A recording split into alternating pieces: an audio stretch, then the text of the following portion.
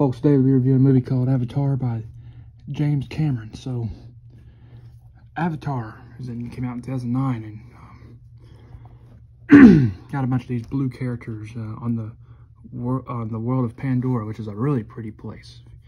Um, I love the visuals of Pandora, like, it looks really pretty.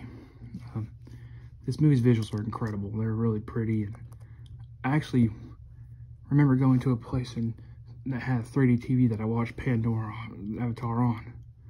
But I would love to go to Pandora. That's a really pretty place. The reason I'm, I'm reason I'm reviewing Avatar because the trailer for Avatar 2 dropped today and dropped in theaters when I watched it to see Doctor Strange. Um, still looks like it's gonna be good.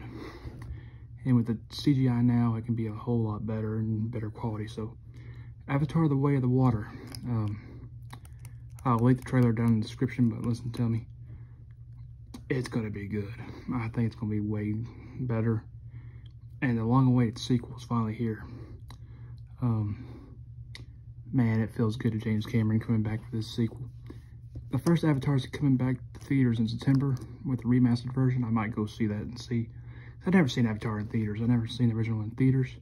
So that'd be really cool to see Avatar in theaters back and see how it holds up today. So this is a really pretty uh, movie, uh, really good visuals. Um, so uh, I'm gonna give Avatar about a 7, 8 out of 10. It's really pretty and the visuals are pretty. And I can't wait to see Avatar The Way of the Water that comes out in December. Can't wait to see that and see if the sequel holds up. Um, I think it will. And this is uh, Avatar 2 and thanks for watching. And I can't wait for Avatar 2 to come out.